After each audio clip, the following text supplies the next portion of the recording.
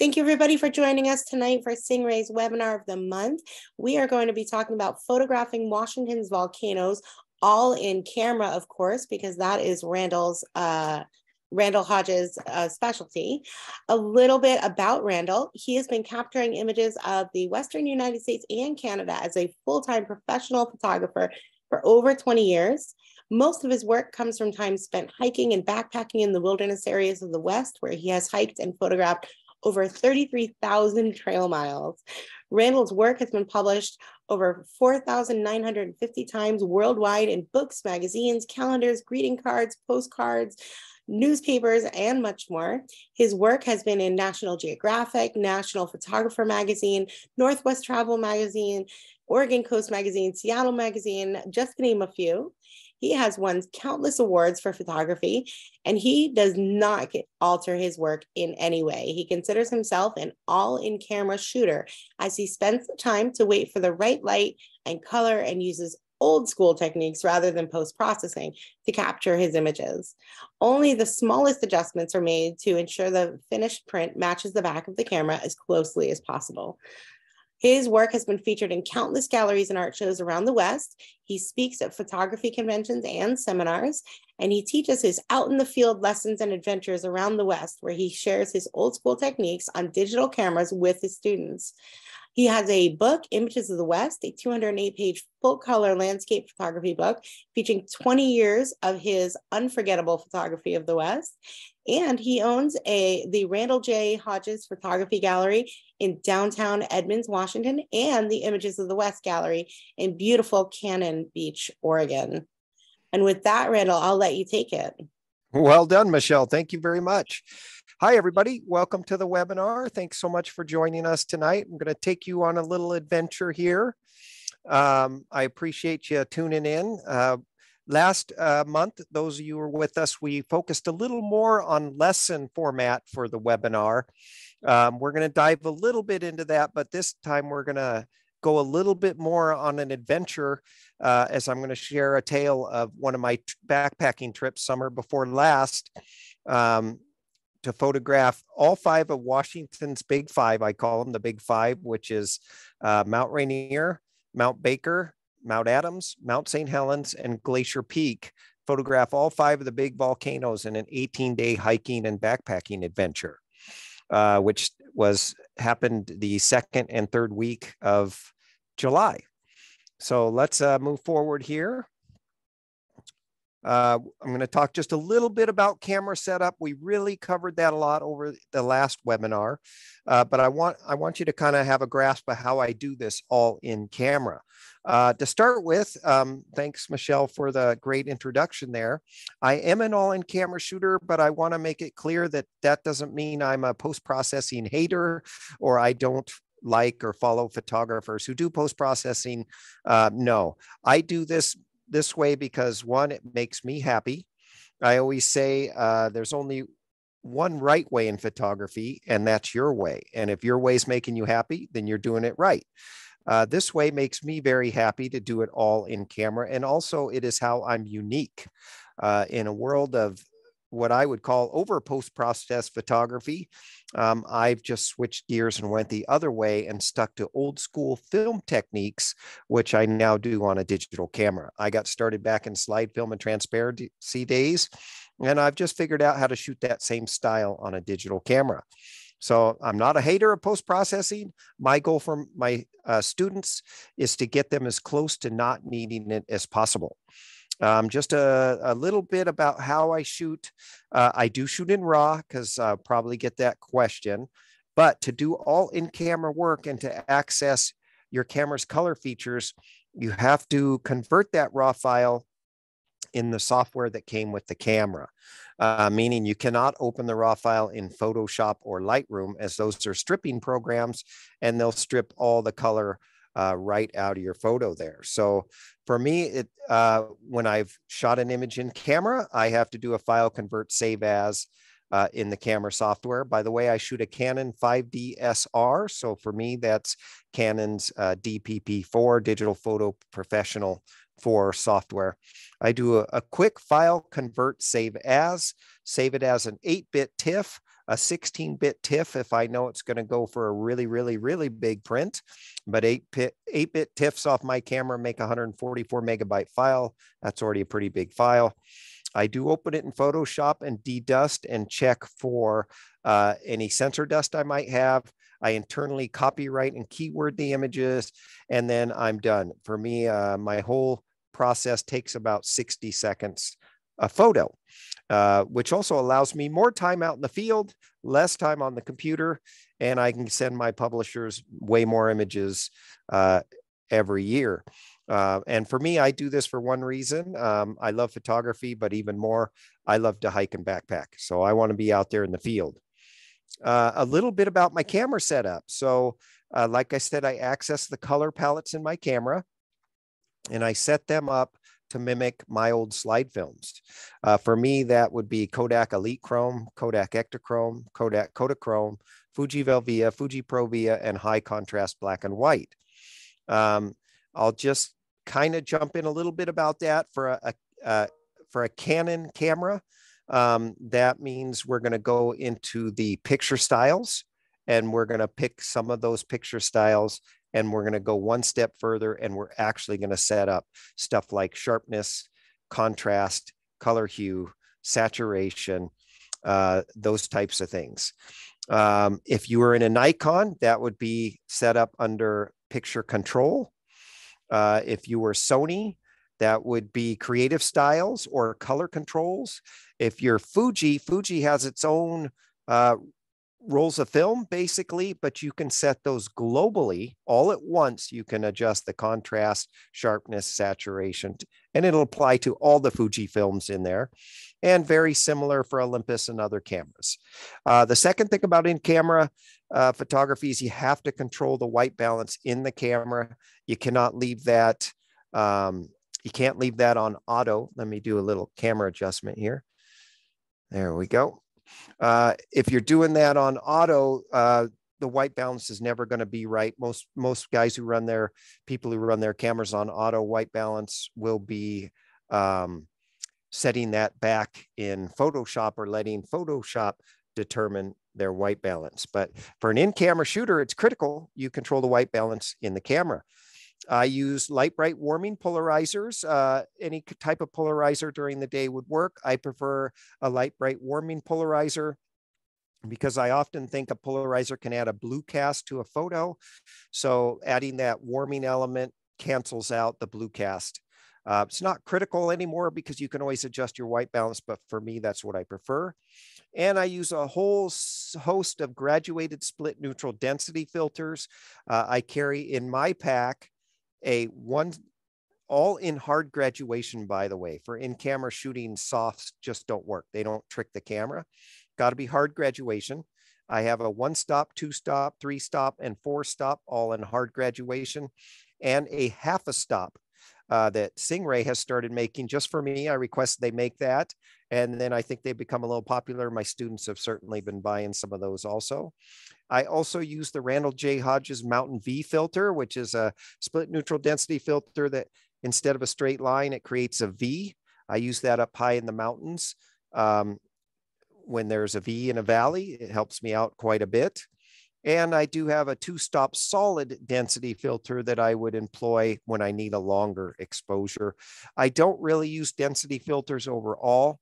Um, I don't usually need longer exposures too much, but if you want to do a little bit of uh, fun photography with density filters for 10 minute and plus exposures, you sure can. And uh, but this this episode, uh, we're not going to focus as much on the technique as we are going to focus more on lighting, timing, composition, and how I come around making these images. Um, we've got a lot of images to get to, uh, so I would say this trip started a full year in advance in planning uh, because often nowadays you need reservations at campgrounds, reservations to backpack. Uh, so at least a full year these trips to start the planning that's what i love about a trip it takes a whole year to plan the trip i take the trip and then i have the photos that last a lifetime so really a trip lasts almost forever uh, so let's get this thing started here we go uh, first stop on this was Mount Rainier. This is called Grand Park. got a couple hikers there moving across to give a little scale. Um, and I'm only going to hit the technique about every third or fourth photo. I really want you to see the transition of how light and composition works. Uh, this was shot aperture priority F20. You're going to see I use F18, F20, F22 almost all the time. Uh, one thirtieth of a second. I use my exposure compensation to darken it by two thirds of a stop. You're also going to notice a lot of my photos I have darkened a little bit. Uh, ISO 200 only because I needed to get those hikers frozen. Uh, normally I would shoot at ISO 100 or 50.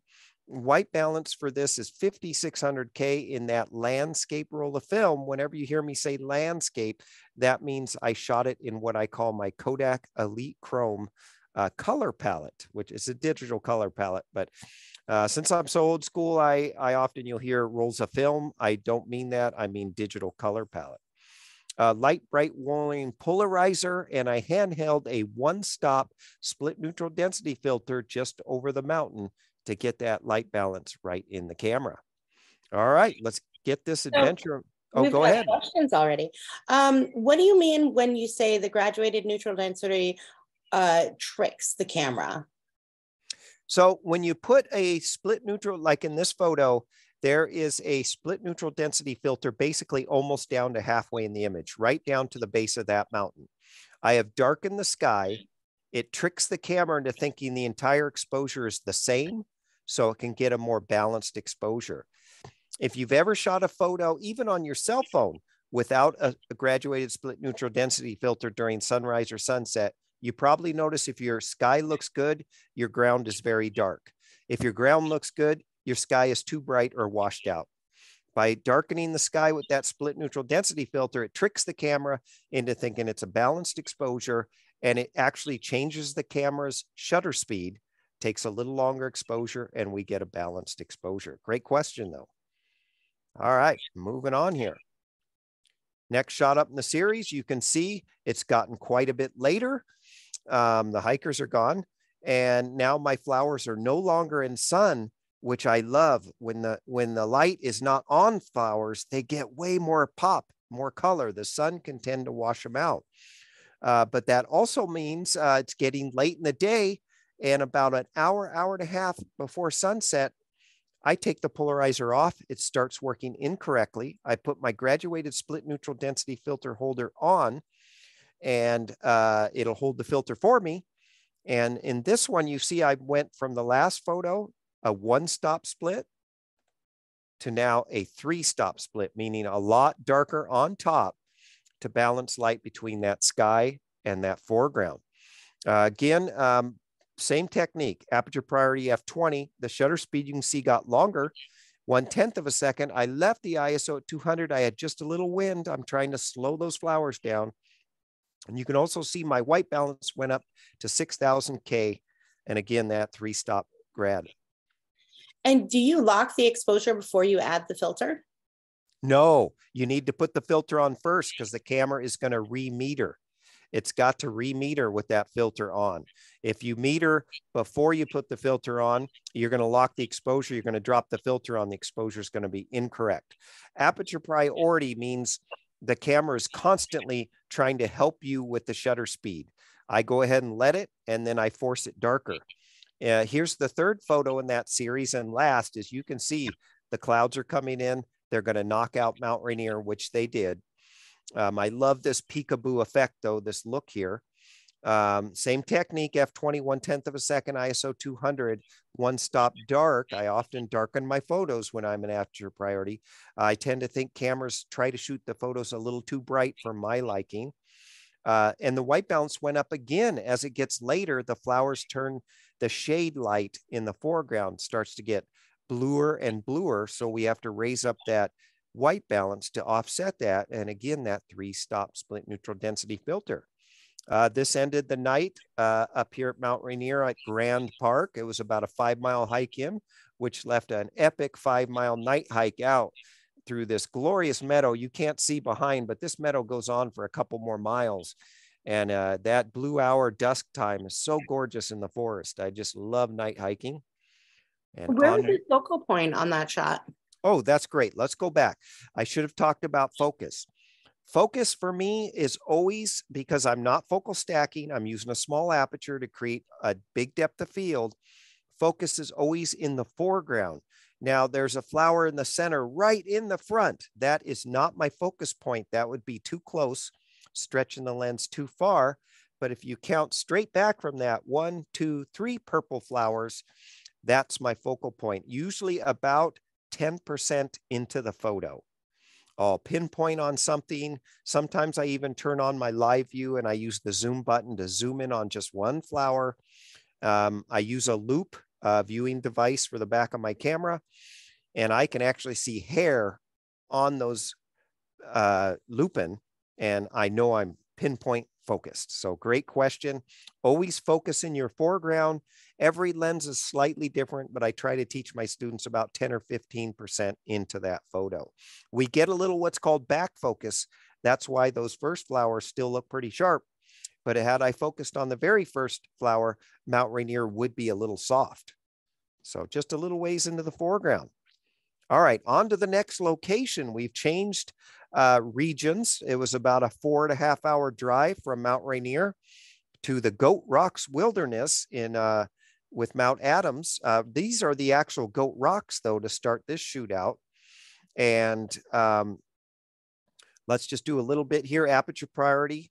Uh, by the way, the lens was set at 35 millimeters. You can kind of pay attention to where that lens is, lens is to see uh, how wide I'm going. F20, six tenths of a second one and a third stops dark, ISO 100, 5400K. When you have that late light that is just cutting across that photo there, that's got a lot of um, glow to it. So we usually turn the white balance down a little, 5400K. And off of that, we get some reflected light down in our foreground.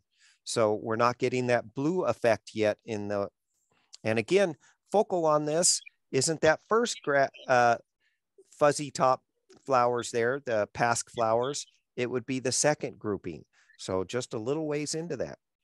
And this, by the way, is a three uh, three day backpack, a two night backpack. So I got to stay out here in these beautiful meadows. How do you determine the correct white balance? You just look at the back of the camera.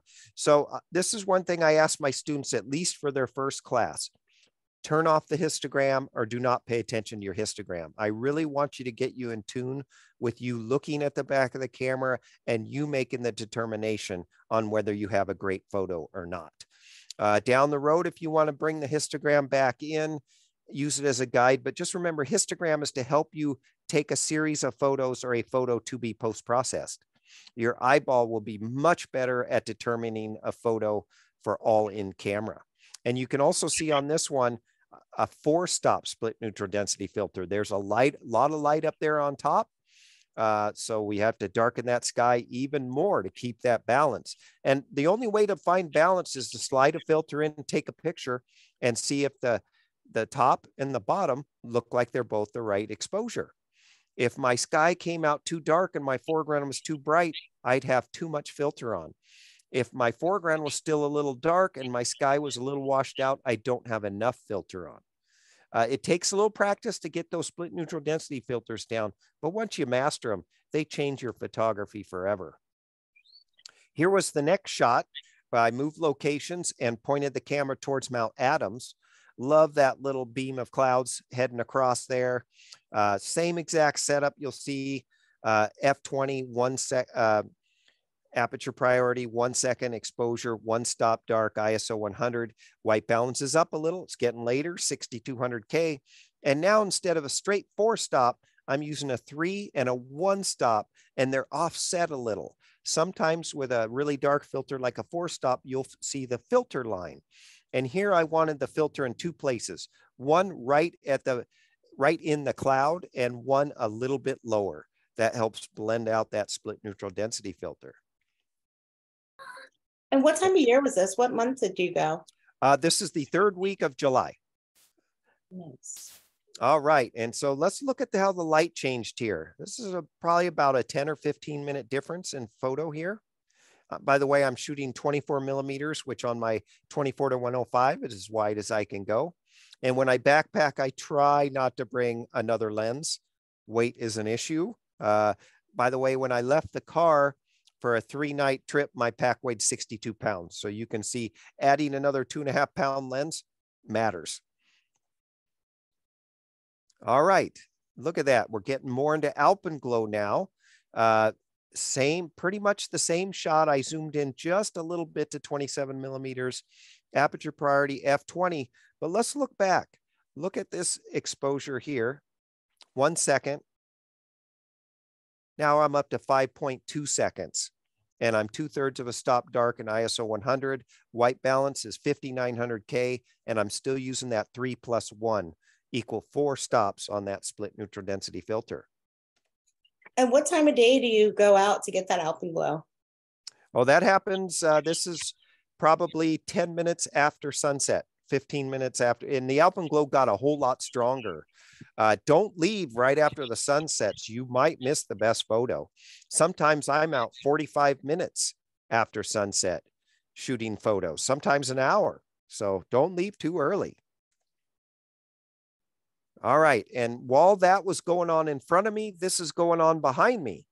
Uh, I literally flipped the camera around as fast as I could, uh, set up a comp as quick as I could without moving. I didn't want to move because I liked that Mount Adams comp so good. Uh, and what really changed in this is I had to put another filter on. Now I'm pointed directly at the sun. The first shot, the foreground came out very dark. The sky was overexposed slap another filter, a four plus one stop in. I'm using five stops to balance light. All right, now I've gone to bed and got back up early in the morning. In July, it's getting pretty dang early. And this is pre-alpenglow. So before sunrise, uh, no polarizer on, split neutral density filter on. Um, I'm up a little higher. I was able to put a straight four stop on there. Uh, same settings, F20, 1.6 seconds, two thirds of a stop dark. Uh, that landscape roll of film, 6,200K in that white balance. Uh, after uh, this morning, uh, we took a bunch more shots, uh, but I, I had to limit this down. I could have easily put up 100 photos, but I wanted to show our hike. So we took off for a morning hike to go hike the Cascade Crest, uh, which is actually the Pacific Crest Trail.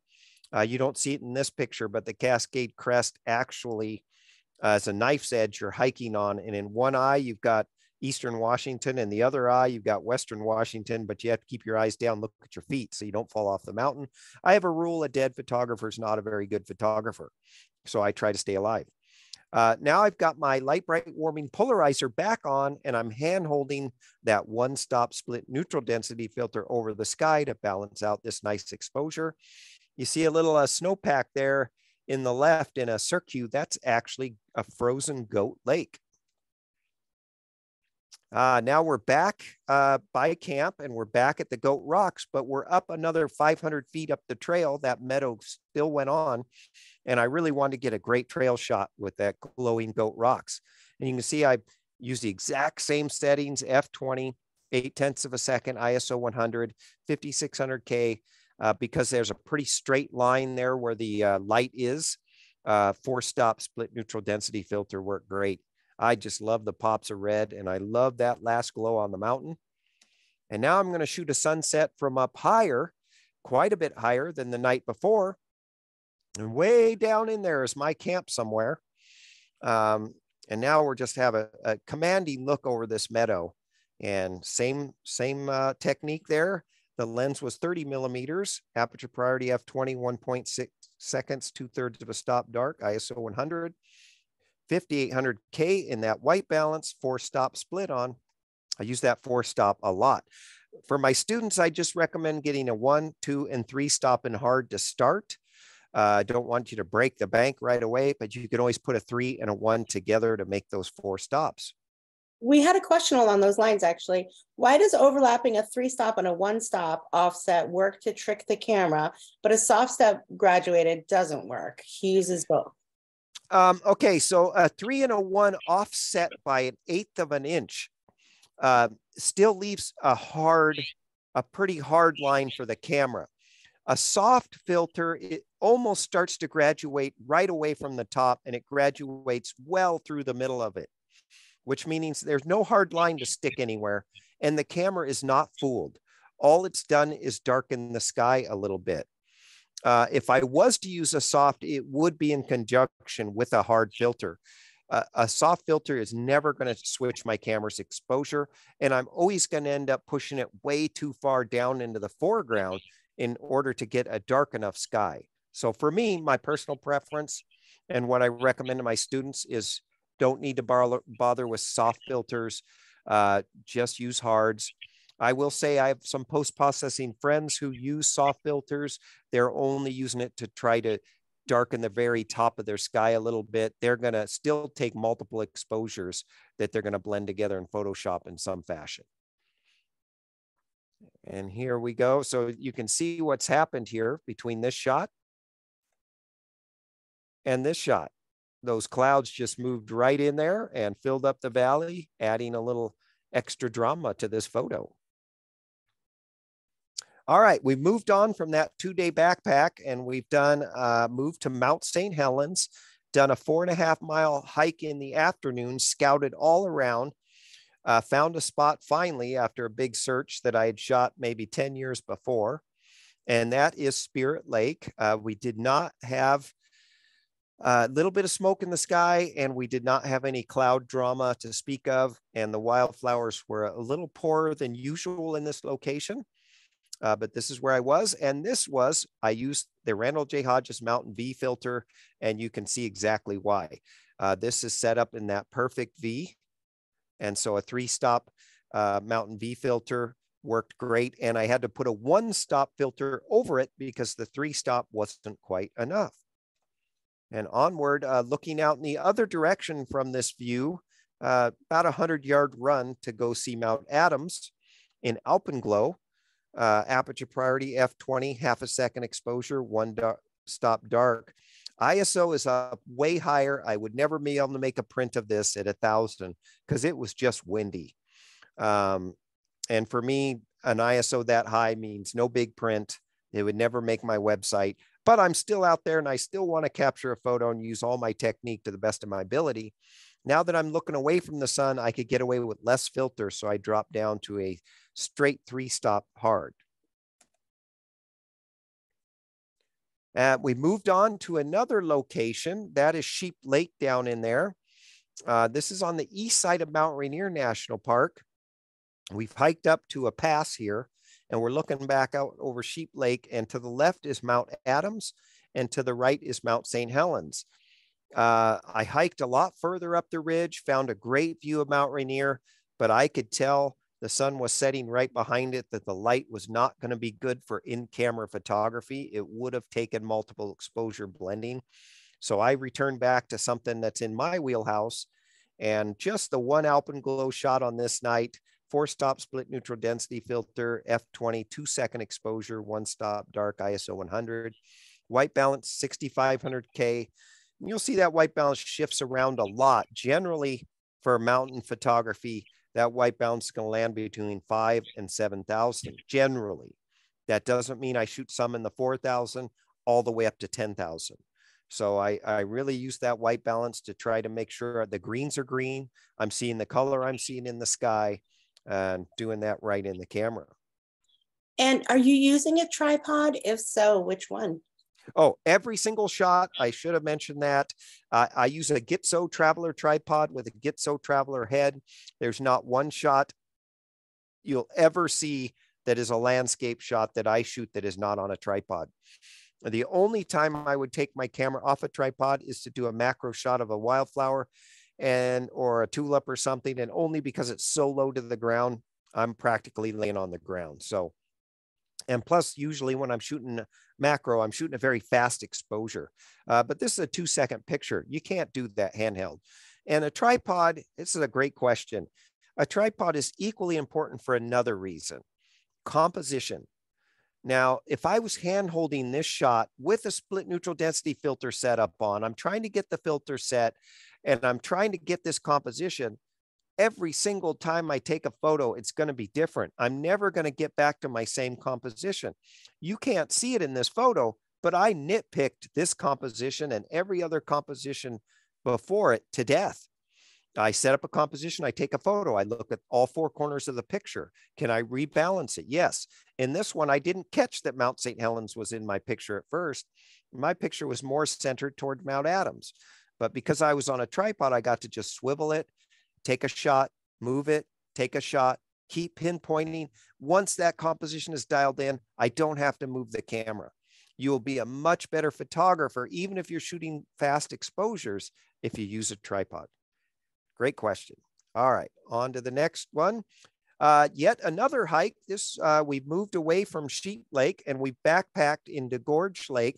My camp is down there in that photo. You can barely see a couple spots uh, on the right side of that lake. That's me and my buddies' tents there. And we have uh, hiked well above up on a high ridge to shoot. Believe it or not, Mount Rainier is supposed to be in this photo, but that is one of the things about photography. You don't always get the light you're looking for, but I still get out, I still show up, and who knows what I'm going to get. Oh, I always set out with an intention of a photo I'm going to get, but I keep my mind open and I shoot the light and the photos that come my way. Uh, this is aperture priority f20, one eighth of a second, one stop dark, ISO 100, 50, 800K, three stop split neutral density filter. Um, and actually, I could have showed you 20 shots from just this foggy event that was happening. Uh, it was really spectacular. Never did see Mount Rainier, but uh, got a whole series of great photos. And what sort of shutter release device are you using for your long exposures? I'm using a plug-in cable release, just an old school plug-in cable release. It doesn't have a battery in it. It's not fancy. Um, it, I, I like a wired cable release, not a remote. Those uh, for my students, I've just seen over time they fail a lot. Some people show up thinking they're going to use their phone to fire off their camera. Well, now you've got your phone in your hand. You're trying to you know, fire off this when you might need your hands to hold a filter. You might need your hands to adjust your comp. Your it, it's a plug-in cable release is simple. I can hold it in my hand and adjust the camera while I'm firing photos, adjust my filter and fire photos. Um, for me, it works. And when I take long star photos, I need a locking cable release. So uh, that's what I use there. So Here's another shot from that series where the sun, oh, it's coming out. It's going to happen. We're going to see Mount Rainier. No, I'm sorry. That never actually did happen. This was as clear as it got that night. But I still love this photo. Has lots of drama in it. That great heather just popping out in that foreground there. And then again, looking at all four corners of my box to make sure I don't have a negative space or a distracting space. So uh, I moved around on this ridge quite a bit, trying to get that lake in an area that I was happy with, with the ridge line, the, the two ridges that are cutting through there in the middle. But light was making me change my composition co constantly, where it was sneaking out, where it wasn't. I was this this was a very busy photo shoot for me. I, I must have moved my camera 50 times in a half an hour. Oh, all right. We've moved on to yet another. Oh, and by the way, this was a one night backpack to Gorge Lake. We had to hike out, and now we've uh, moved the rig. I'm, by the way, I'm when I'm not backpacked in, I'm sleeping in my adventure van Gracie, which is a 2020 Ford Transit all-wheel drive that I built into what I call my cabin. Uh, nothing fancy, no shower or toilet in there, but it has a bed, lots of storage, and I can haul all my food in a cooler, and that's all I need. So we've gone to this is Summit Lake. We've just poached poached camp. You didn't hear that from me, but I camp a lot in trailheads and parking lots, but nobody saw me there, so don't don't say nothing. Um, and we hiked up for a sunset. It's about a four mile hike, beautiful hike up here, and we've climbed above the lake to get this fantastic view. And this is an epic series of watching light change. So this I got my wide angle lens out for this one uh, 18 millimeters aperture priority f20 a third of a 0.3 seconds. One stop dark like i said i almost always am shooting my photos a little on the dark side. Iso up just a little bit at 160 there was a little wind. I didn't get it all the way back to 100 uh, white balance 6400k in that landscape color palette. Four stop split neutral density filter. You can see a pretty hard line where that light is out there So it's easy to set a four stop filter right on top of it. And watch this little progression though of light. Oh, let's go back and talk about composition here.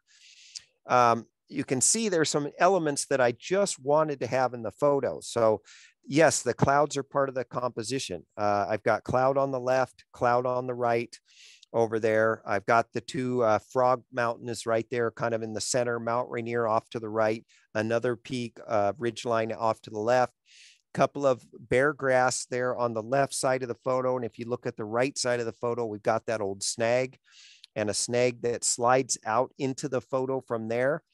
And there's a lot of uh, lichen and mosses growing down there, adding some color into this photo. And on the very left bottom corner, you can see I snuck in just a little greenery there. So it wouldn't be just rock. I nitpicked this composition a lot. Uh, I probably took me 20 or 30 photos to get it just how I wanted.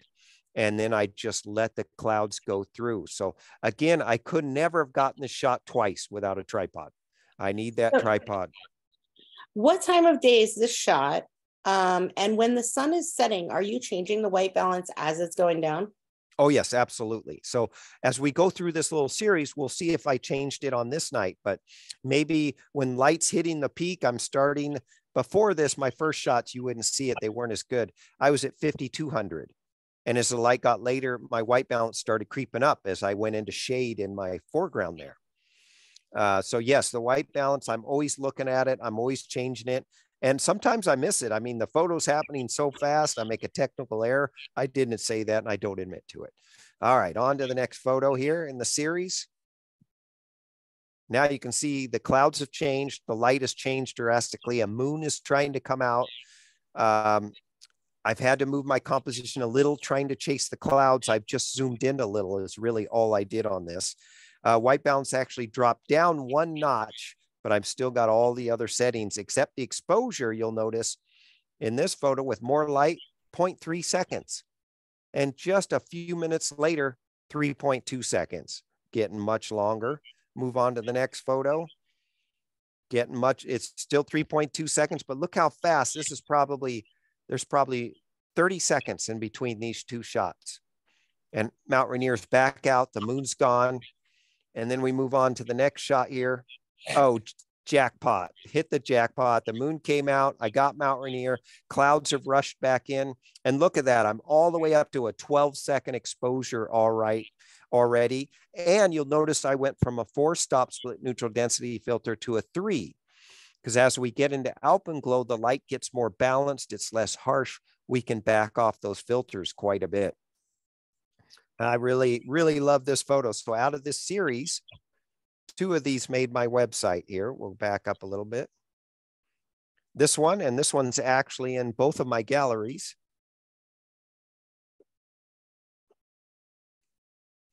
And this one, um, and this one will probably end up in the galleries because I've sold a few of the prints on the website. That's usually a pretty, pretty good indicator that uh, it's well received.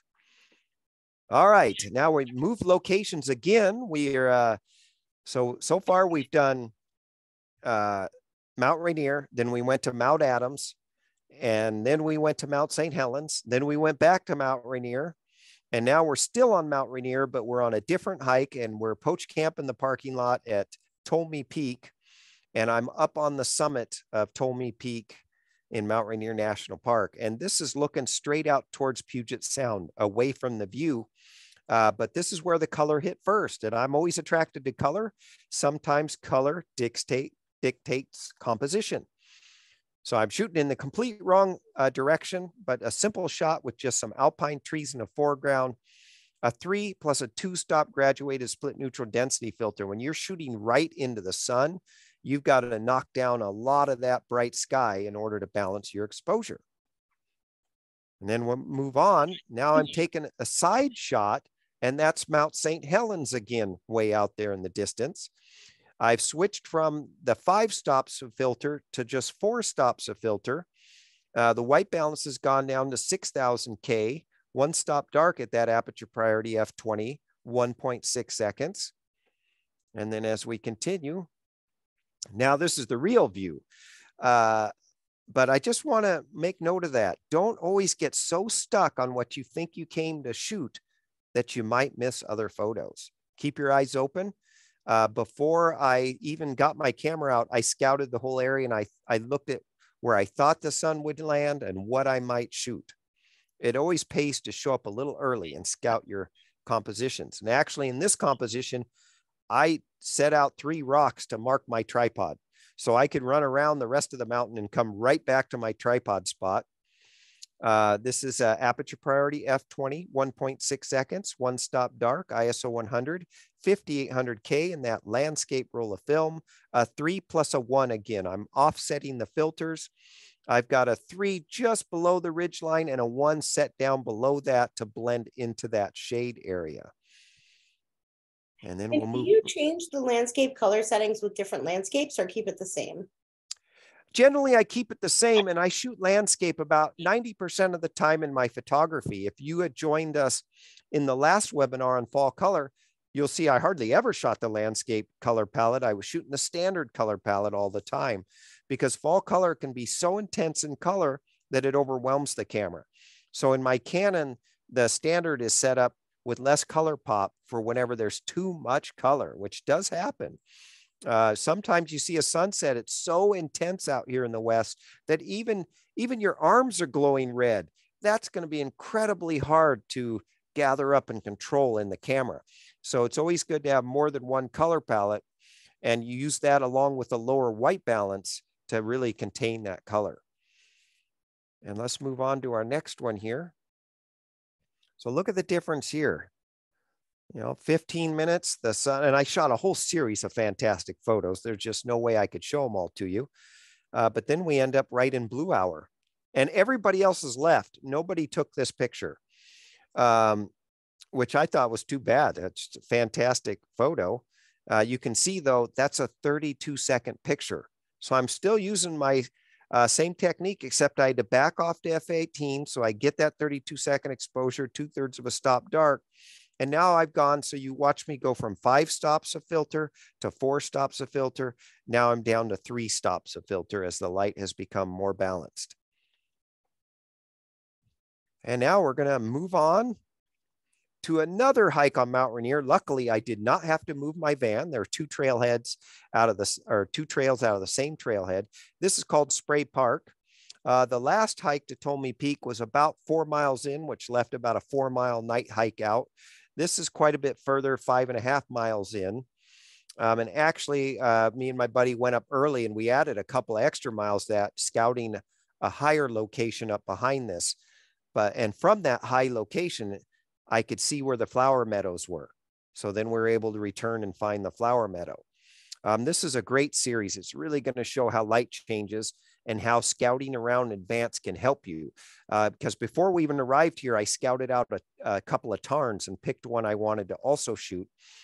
Found this flower meadow, but couldn't see the whole thing. Got up really high on a ridge, took a practice shot up there, uh, decided, nope, that's not going to be my sunset spot. I'd already taken a practice shot here and I knew I liked this area better. Got back down, found a better area in the flower meadow, took this shot uh, with early. This is probably four o'clock, five o'clock. Still got that light, bright, warming polarizer on and a one stop grad over the top at a 5800K white balance. But the other techniques, very similar F20, one sixth of a second, one stop dark. Now, there's a point in the evening when the polarizer starts to hurt you rather than help you. I was right at that time. You can see the right side of this photo is quite a bit darker than the left side of this photo. And I tried to balance I tried to balance the polarizer more to the left, but then it just pulled a, a, lighter spot on the right side of the photo. That's when you know it's time to take off the polarizer and just go to a straight split neutral density filter setup and which I did right after this. I knew it was time for the polarizer to be gone, but I wanted to show you this photo because a lot of people ask, How do you know? Just look how uneven that sky is, and then you know.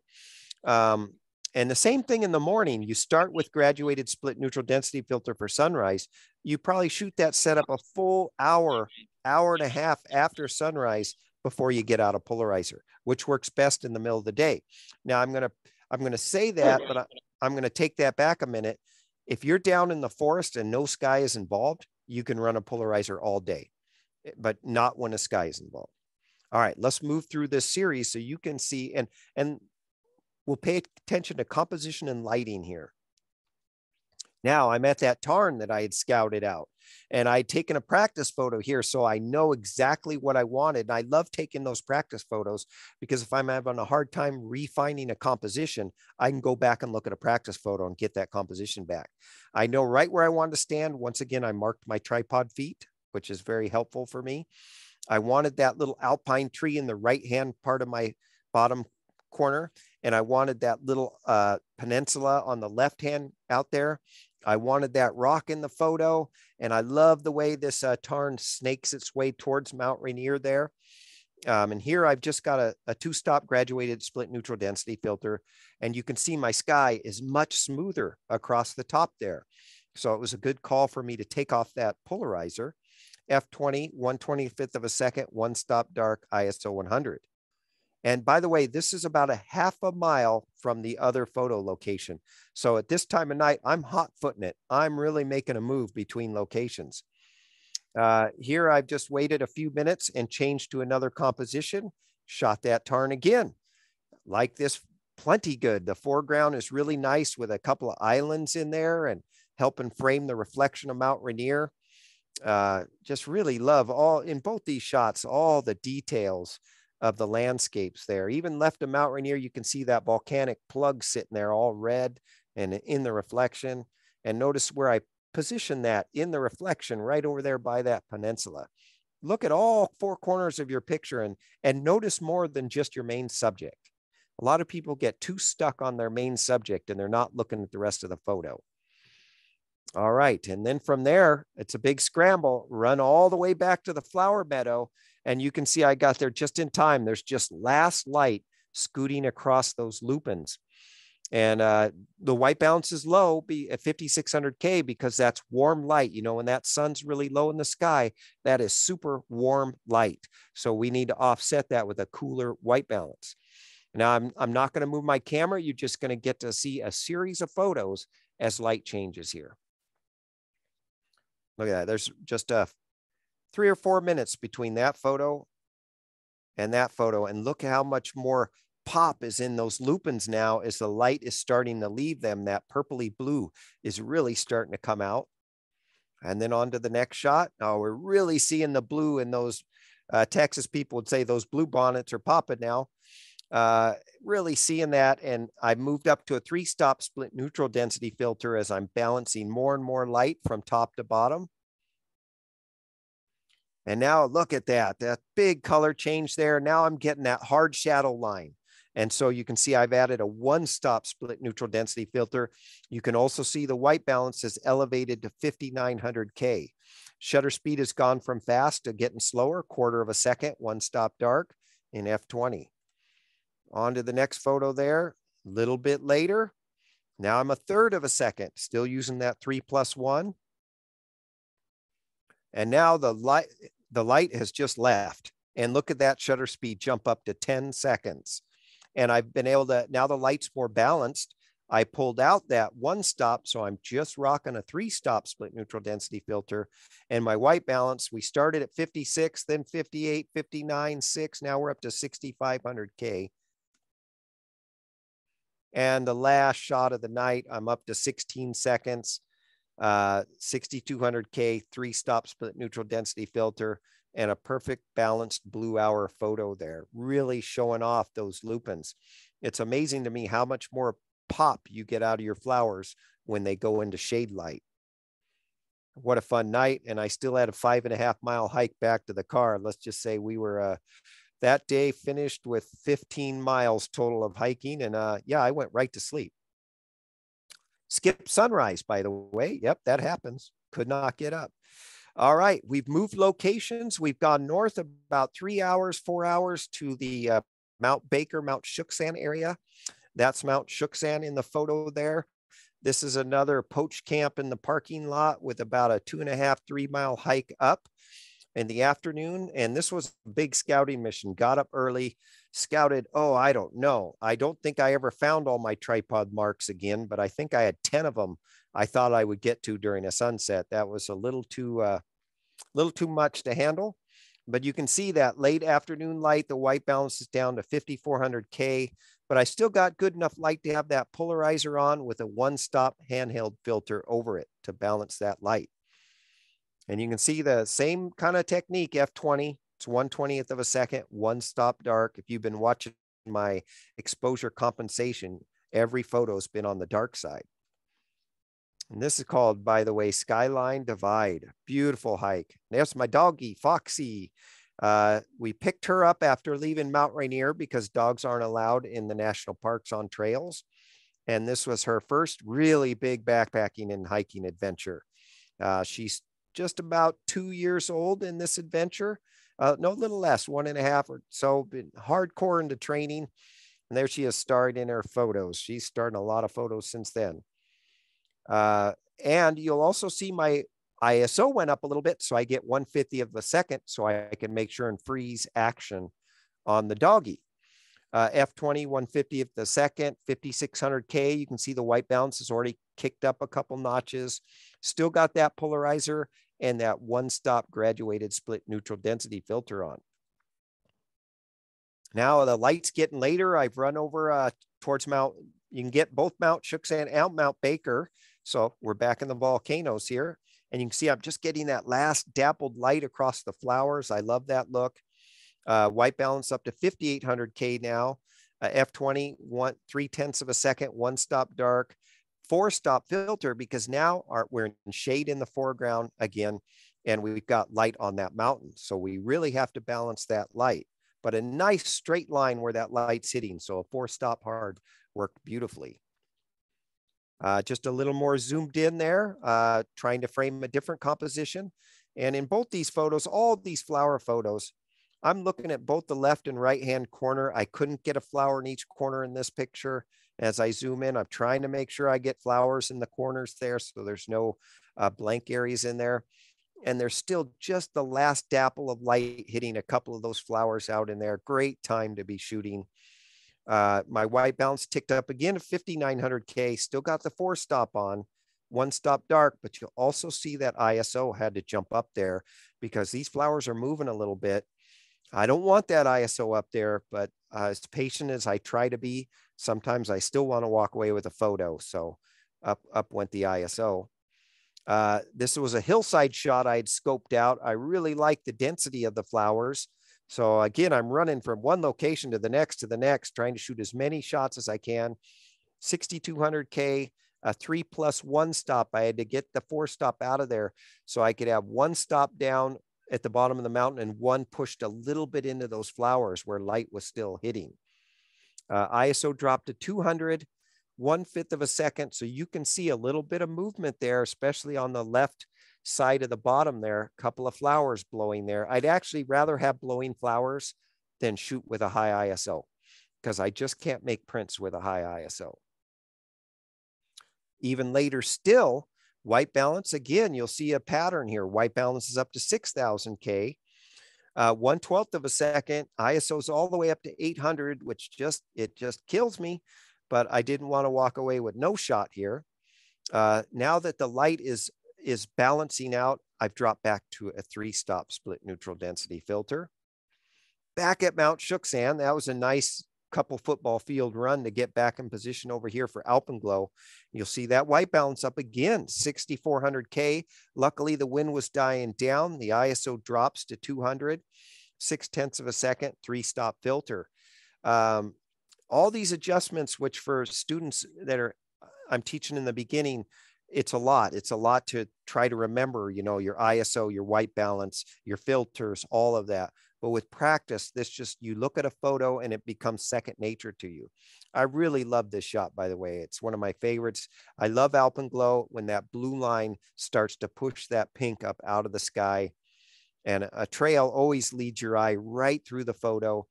And you can see I've positioned the peak to be on the left side of the photo and the, the really strong flowers on the right side of the photo with a trail cutting from left to right uh, ideal composition for me. It just, it really just guides your eye right in through the middle of that photo. Uh, I love it when that happens. Now, back to uh, really late alpenglow on Mount Baker. Uh, you can see I'm up to six tenths of a second, have that ISO a little bit elevated.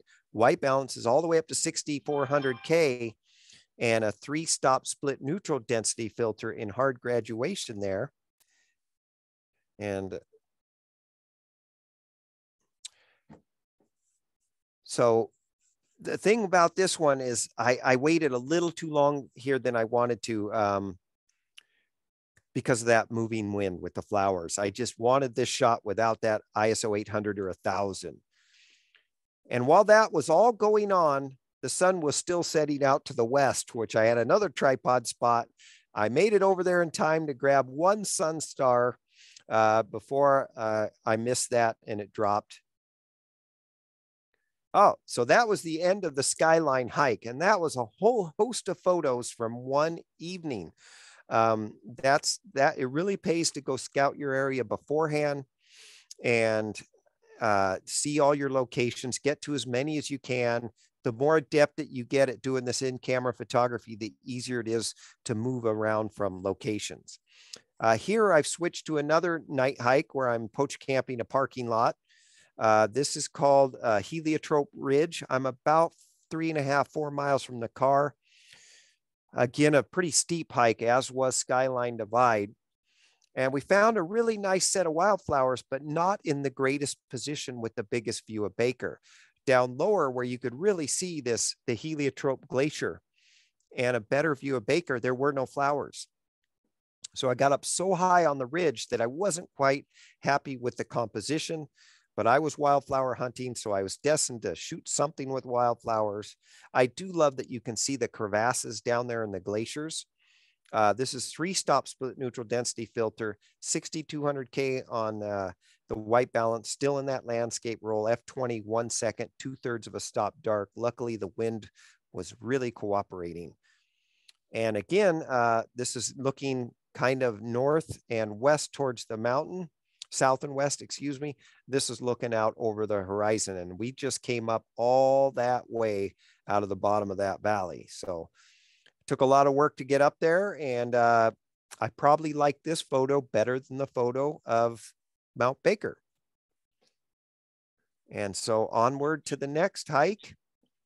Uh, this is Park Butte on Mount Baker. Now I've jumped from the north side of Mount Baker to the south side of Mount Baker. And Foxy Dog is doing a good job right there, posing for a photo uh, F20, one one hundredth of a second, two thirds of a stop dark, ISO 400 to keep Foxy still. And in this photo, we've been taught, let's go back a couple notches here just to talk about where to focus. So again, you've got that really nice group of Indian paintbrush right in the foreground there, immediate. That is not where I focused. Go straight up from that to the next Indian paintbrush, uh, about a third of the way into that. That's where I focused. And in this one, uh, there's some Indian paintbrush there on the right, didn't focus there. If you look right in the middle of the photo and you go to the first white flower, that was my focus point there. But if you have a subject like a foxy dog, you need to focus. I'm trying to focus right on her eyes uh, in that. Uh, really a bluebird sky day uh, to, tonight on this one. Aperture priority, F20, ISO um, was at 400 so I could achieve that one one hundredth of a second to freeze her. I've got a two stop split neutral density filter on. And do you use a filter holder? Yes, I do. Uh, not when the polarizer's on, but you know that polarizer comes off fairly early in the evening. I go straight to the holder, which simplifies life uh, greatly. So highly recommended. Is there one that you recommend? Um, so if you go on uh, uh, Singh-Ray's website, you'll see there's a Randall Hodges student kit. It comes with a one, two, three stop split neutral density filter. You can add on a four stop and a half stop if you like. You can add on the polarizer if you like. Um, and it comes with a Cokin filter holder, uh, which works pretty darn good. Um, I have switched up to, uh, it's called Sioto, S I O T O, and I just bought it on Amazon for 32 bucks uh, I'm a 77 millimeter, so it came with its own with its ring. It it is set up for a drop-in polarizer, which I do not care for. Uh, so I just bought the holder, but the reason I, I went to that, it has a thinner profile and on my wide angle lens, it will hold up to three filters without the filter holder showing up in the photo. Whereas a Cokin, if you want to have all three slots available, add that extra slot.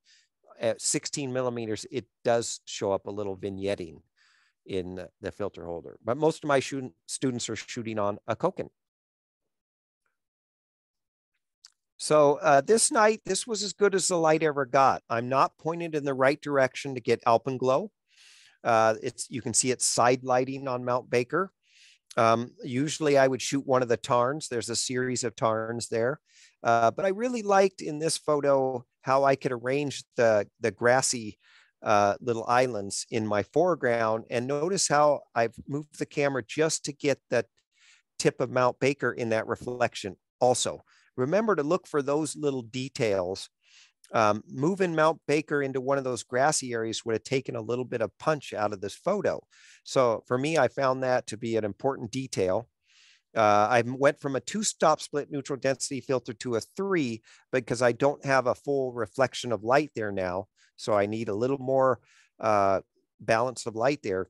But this nice side light uh, really lighten up the mountain is quite nice. I, I must say, if you go on my website, uh, you'll see a host of photos from Park Butte that are just out of this world. I have this location in both my galleries, just not tonight. All right, and we moved on to the final destination of this trip. Uh, now we've shot Mount Baker from three different locations. Uh, we've shot Mount St. Helens showed up in our photos from three different locations. Mount Adams showed up in our photos. Uh, we got Mount Rainier from multiple locations. The hardest volcano to get to in Washington is Glacier Peak. It is deep wilderness. Uh, when the short trail is open, the shortest trail to it is 16 miles. Uh, this, unfortunately, the short trail was not open. Well, I should say, fortunately, that it was not open because it forced me to do a brand new hike called Glacier Creek Meadows. And right now, I'm I think I'm standing about 19 miles from the car. So it was a full uh, day and a half of backpacking to get into this location. And this is uh, when I first saw the mountain, it was already getting late. I just dropped my stuff, took my first shot, thinking, okay, if I find nothing else, this will be my sunset spot. I really like the way the trail cuts across the photo and then switch backs. And you can see it way out in the middle of that photo going off in the distance there. Got that warming polarizer on and a one stop graduated in hard graduation. 6000K in my landscape roll of film, ISO 100, one stop dark, still shooting aperture priority as always, f20, 125th of a second. And this, by the way, is a three day backpack. So we've gone down, we set up camp, we've made it back up in time uh, to get that last light on Glacier Peak. Really a st stunning mountain. Um, and the wilderness is just so far out there. It's just very few people now. Uh, second day, we're hiking back up past, past that same location and just some really nice clouds and some afternoon light. Just had to get a couple of shots off here. Uh, aperture priority f20, 160th of a second, two thirds of a stop dark, ISO 200, 6000K in the landscape roll of film, three stop graduated split neutral density filter and hard graduation. But we were on a mission to shoot from somewhere else. So we were out scouting. That's why we were out early. And now we've climbed what's called a cinder cone and we're well above the valley now. Another shot of Foxy Dog. Uh, the light was still good enough and she was holding still enough. I was able to keep the ISO low here. Three stop split on top there. And uh, we're still scouting. We got up on top of this. And from the top, we could see that there was a tarn, a small lake down on the other side. So immediately we had to get off of the cinder cone and go look for that. And there it is. And now I'm getting real happy with my composition. This added a lot to it.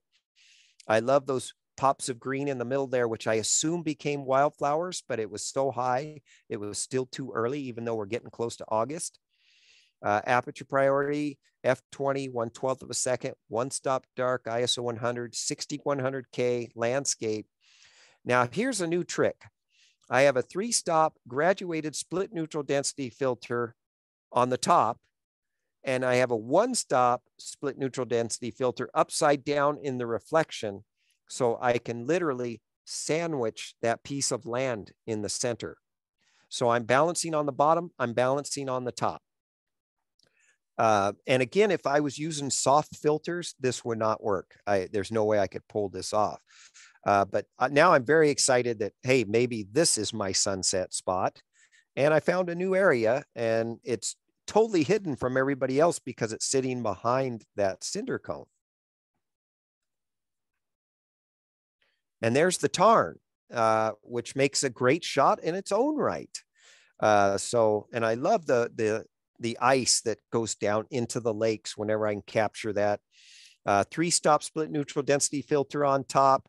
Uh, didn't have to do the sandwich because I have some land around that tarn there. Fantastic. Now I'm back to uh, the original location uh, behind the tarn to get that last sunset light. And uh, a little smoky, I'd say hazy. It wasn't as strong as a last light as I'd hoped for, but I was happy that some light did hit that. Um, and again, I'm using that sandwich, a three stop on top and a one stop upside down on the bottom. And now we're back up on top the cinder cone, looking over one of the tarns, shooting back out over the valley that we hiked up in uh, for that sunset. Um, and this was the only place that had color this night, end up being the last shot of the trip. Aperture priority f20, eight tenths of a second, one stop dark, ISO 100, white balance 6400K, landscape, a three plus a one again, so I can offset those filters. So I would I would guess the question about the softs when I offset the filters, I guess I call that a medium. Um, but really the graduation is only split by an eighth of an inch, where a soft filter, the graduation is spread out by over an inch. So that's how it's done there. We'll just move on to a contact page here. And uh, let's open it up for questions. Let's see how I did time wise. All right, we made it through that. We did really good. Um, a couple of comments. Great presentation, beautiful images. Thank you, Randall and Singh-Ray. Um, okay, so when you're doing a long exposure, like a 16 second shot, I assume you're making sure there's no wind or breeze. I'm hoping there's no wind or breeze. and and when I start the exposure, there's probably no wind or breeze, but that doesn't mean it doesn't kick up during that exposure. And sometimes some cuss words come out and uh, sometimes I'm pacing while I'm waiting for the exposure, and I talk to Mother Nature a lot. Please no wind, please no wind, please no wind, please no wind. Uh, and just you just you know patience. Uh, other you know if you do post processing, you can always shoot a series of exposures. Um, you can always uh, you know shoot a very quick one for the flowers and then add a longer one for the sky and then you know a couple hours later you might be able to put something together that's just not the way i want to do it so for me um, patience is perfect and, and uh, on those slower shutter speeds do you use mirror lockup or are you shooting mirrorless I am not shooting mirrorless. I'm on a Canon 5DS R and I do use mirror lockup. So I'll click the shutter once and then uh, it will click, I'll let the camera steady and I'll take that second click. And by the way, I, I should have mentioned the other gear. Um, so yes, Canon 5DS R main lens, 24 to 105 Mark II lens. Uh, second favorite lens, 16 to 35 Mark II wide angle lens. Uh, third favorite lens, 100 millimeter macro, and maybe one of these Singh-Ray ones, I'll do a macro uh, class or a tulip class. Um, and then my least used lens is a one to 400, uh, but it's still an important lens to have in the kit. That Gitzo tripod. Um, I went through all the filters I use and everything I have, I should say, I have a backup to also. Uh, sometimes these trips can get very expensive, and the last thing you want to do is be out in the field when a piece of equipment breaks. So I have a couple extra bodies. Um, and with all that lens collection, if I break one, I still got uh, three other lenses to use, a backup tripod, um, that kind of stuff. Um, and you mentioned you tell your students not to pay attention to the histogram, to look at the back of the camera. Is the back of the camera set as RAW or JPEG? you're looking at a JPEG in the back of the camera, but if you do the conversion I told you about and use the camera software, it's actually on the raw file. But the camera pushes out a JPEG because a raw file is way too big for it to push out. So that JPEG represents what will be on your raw file if you convert it in the camera software. That's a great question, by the way. But um, for those who don't know what a loupe is, it's just a little device that shades the back of your camera and it is focusable to your eye and it uh, is slightly magnified. I use that and it is extremely helpful. Um, you know, I don't require my students get it for their first class, but if they're taking one of my bigger adventures, it is strongly recommended because literally just a loupe and being able to see the back of your camera will make you twice as good of a photographer because your detail is so much better. So that's another piece of gear I almost forgot about there. Um, let's see. So when you print your images, do you have to make adjustments to have the image like in camera or no change? Yes. Yes. So if you read my bio, uh, even though uh, my goal is to be an all in camera shooter, um, every print medium is different and uh, printing is a whole nother challenge. Uh, a metal print prints, it's, it's a dye sublimation. It prints from five inks. Um, my printers here, we're in my Edmonds gallery, by the way, uh, coming to you live from there. And in the back is my print shop. And I'm running uh, three big Epson printers, a 17 inch, a 24 inch, and a 44 inch printer. The paper printer has its own adjustment for it to come out of. The two canvas printers, even though they're both Epson, they are different also. So those files are adjusted to come out of those printers. Um, so printing, I'm lucky. I don't, some people have to run profiles and ICC profiles and masks and a whole bunch of stuff to try to figure out what's coming out their printers. I've just figured out my printers. Most of the adjustments I make have to do with uh, brightness. Some of the printers want it, the expo- the uh, photo to be darkened a little bit. Some want the photo to be brightened up a little bit. Uh, so that's what most of my adjustments are. But metal prints are a different animal. With only five inks, the blacks can tend to um, not print correctly. So there are some adjustments made, but the whole goal, my whole goal is that it matches the back of my camera, which is very important to me because if you come in one of my galleries, I'm going to start showing you photos right off the back of my camera. And sometimes I even sell photos off the back of my camera. So uh, I really need those prints to try to match it as closely as possible. Uh, but there does need, that's why in my bio it says only the uh, smallest adjustments are made so that the print matches the back of the camera as closely as possible. So that that's a great question though. Let's see.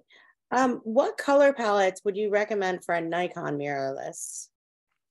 Okay, so I, I'll just kind of go through some of the color palettes of the different cameras. And I will say this with a caveat. Again, this only works if you're shooting in JPEG or you process that raw file in the software that came with your camera. If you open it, you do this and you open it in Photoshop or Lightroom, it's going to strip all that away unless you have a plugin for your camera. So let's start with Canon. Uh, I would set up the standard and landscape rolls the same generally, and I can only say generally because all the cameras are slightly different. I move sharpness up one from where it is. I move contrast up two from the middle, and I move saturation up three or four from the middle, depending on the Canon camera.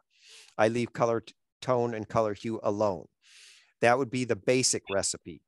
Now, if you came to me with a Canon mirrorless, we're going to have a slightly different adjustment. Uh, we might even do a sensor pull. If you came with me with a Canon 6D Mark II, that's going to be a different adjustment, but that's basically it. Nikon, basically all the cameras are the same. You would move sharpness up one, contrast up two, saturation all the way up, especially on the full frame Nikons, the DSLRs. They push the least amount of color.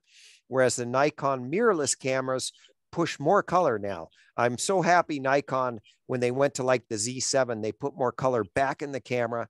So you may not want your saturation all the way up. It, it more of a preference. You'll have to shoot a little bit, but that's the basic setting. Up one on sharpness to where it's five.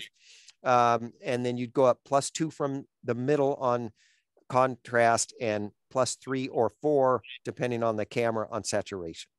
Uh, very similar for Sony, uh, but Sony is set up differently. And Sony, we would set up the landscape, the standard, uh, and the vivid. And Sony doesn't have as big of adjustment parameter. So it'd be plus one sharpness, plus two contrast, plus three saturation, which is Sony's max. And as Sony's gone on, they've taken more color out of the camera. Everybody's in this dynamic range chase. And the only way to do that is to take some color out of the camera. Um, and then for Fuji, because you can globally adjust all the Fuji films at once, I would go plus one sharpness, plus one contrast, plus one saturation. Fuji already puts its own kind of color magic in the camera, so we don't want to push any of that too far. But for most of my Fujis, that's a pretty good setting. Panasonic, very similar to a Sony. Um, it's very hard to explain over the phone. Uh, really, there is no substitution for coming out in the field and taking a class with me. So I can help you through all this step by step, hand by hand, and watch over your shoulder, help you with composition, lighting, all of that, because it all plays a part of in camera photography. But hopefully that gives you a little bit of a jump start on how to do it there. Um, and by the way, if you go on my website, you get a full list of classes there. Uh, and in the future, for people who just can't get out and take a class, I don't know how long it's going to take, but this whole last year, I went and filmed 14 segments for a, a video series lesson that will be very detailed out. The, I'm filming my, I was filmed out in the field. Um, but my editor is uh, my video guy. He's got a lot of editing to go before we can release that, and a lot of edits and cuts and edits and cuts. But eventually, there'll be a, a two basic class package, which you all these represents my actual live out in the field classes.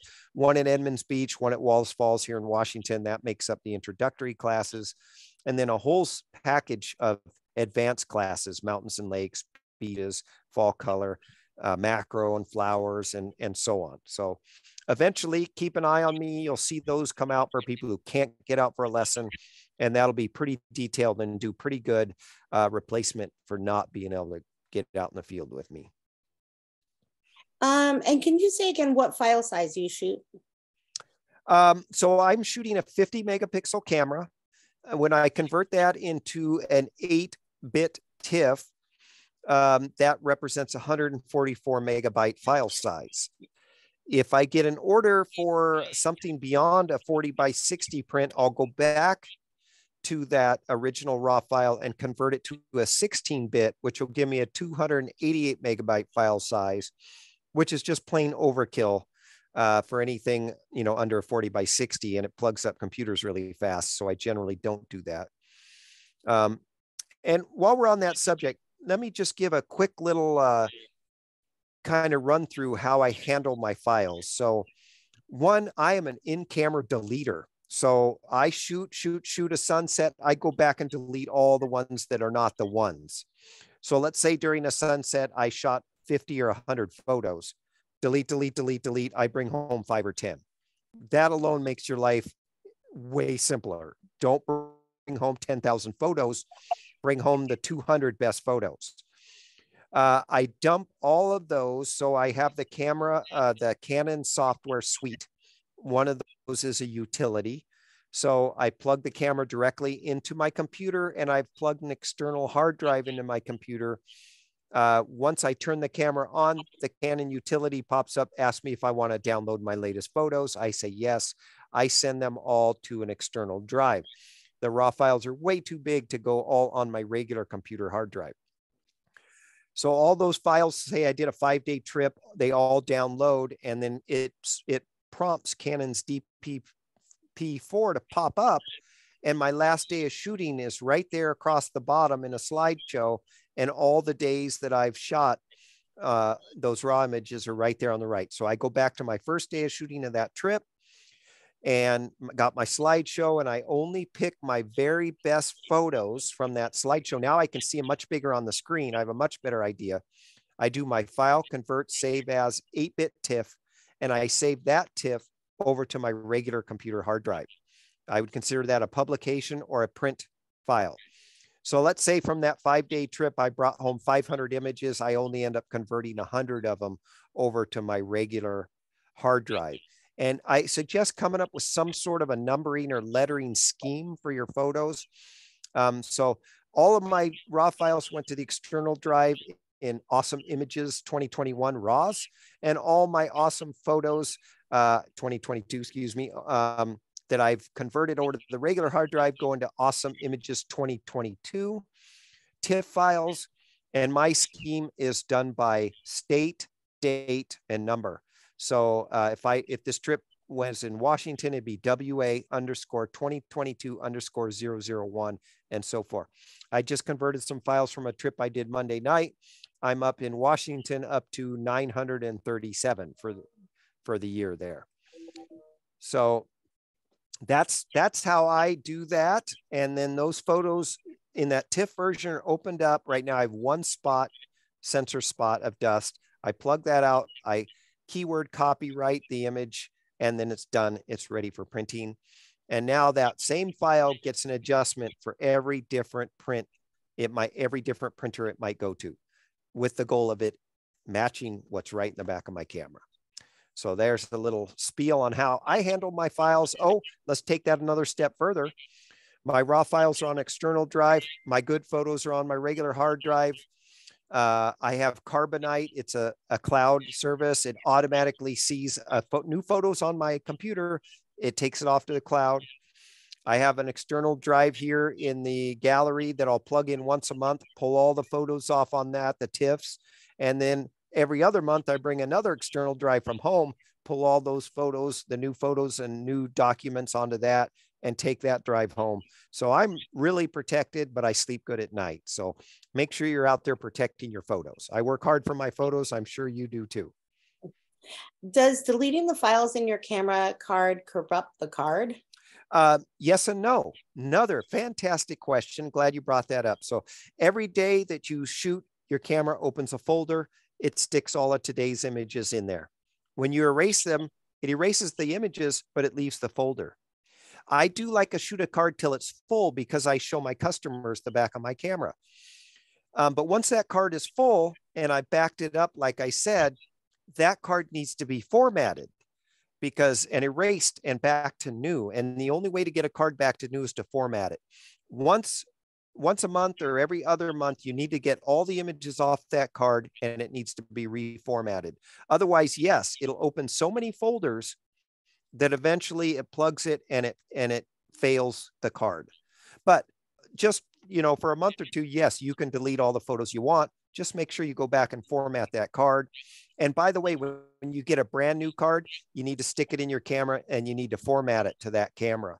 Don't just stick it in and start shooting. That card most likely will fail also. So awesome question. Um, do you use a GPS device like a Garmin to help you get to locations or do you stick close to the trail? Uh, well, uh, I use my phone not to take photos. Um, but I do use stuff like uh, AllTrails apps or uh, Gaia to track myself in so I can get myself out. And often they have their own maps you can upload to help get yourself to location. Uh, this last year, I did buy a Garmin InReach uh, just for an emergency that when I don't have cell coverage, I want to be able to tell my wife that I'm safe. And if I get lost or hurt, I want to be able to send an SOS. Uh, so it's a little bit expensive, like 400 bucks for the device. And for 12 bucks a month, uh, you're able to send 10 pre typed texts, which uh, I think is a safety issue, uh, especially as I've gotten a little bit older that um, if I'm and, and by myself, uh, that may be my only way to get help. So but most of the time, I'm tracking myself these days on the phone. That's way easier than the old days of whipping out maps and a compass and trying to figuring everything out. Oh God, I'm lost. Nope, just turn on my phone. Oh yeah, just head back this way. Okay, I think that's it for our questions tonight. If anyone wants to reach out to you, Randall, what's the best way for them to contact you? Ah, well, uh, got some info up here. Uh, the one thing I don't think I put up here was my actual email, which is randall at randalljhodges.com. You can see the uh, website there, www.randalljhodges.com. You can always just uh, direct message me right from my contact page on my website. Uh, you can check me out on Facebook, Randall J. Hodges Photography, or just Randall J. Hodges. Instagram's at, and, at Randall J. Hodges. Uh, if you go to my website, you'll see a video series tab. Um, it's listed there as YouTube, and there's a whole series of videos of me being out in the field. They have a little bit of tips and techniques, tips and techniques. They're not the lesson series I'm talking about, but you get a real feel for how I'm using those filters and what I'm doing. Um, and on my website, you can call me at the gallery. Uh, my phone number's on there too. And by the way, I, I just want to mention uh, if I can do a little shameless self promotion on my website right now, you'll see I have my Images of the Northwest calendar on sale, $10 each, buy two, get one free while we uh, have them in stock. You can also get my Images of the West book, which has 20 years of locations, photography tips, and all of that in there. And you'll also see we're having our holiday sale on there. So if you want to get a print or two, you'll see a lot of these prints that we just did on there. Uh, everything's 10% off. Sorry about that. I apologize. Shameless self promotion there. Completely allowed. So we definitely, Randall, want to thank you again for your time this month. These images were breathtaking, and I just love all of your your in-camera techniques and your so-called old school techniques. Um, I, I think that you have a knowledge base that's really valuable, and so thank you so much for being here and I appreciate it. And guys, there's a very good chance, you know, next November or December timeframe, I'll either do one or two uh, webinars with Singh-Ray again as one of their ambassadors. I always like to get out and teach and uh, help make people aware and just hey, try to keep that old school photography style alive. And uh, before we sign off here, I just want to say uh, happy shooting, happy hiking, and get out there and have some fun and happy holidays, everybody. I guess it's that time. Merry Christmas, all that good stuff. That's right. All right. Thank you, everybody, for joining us.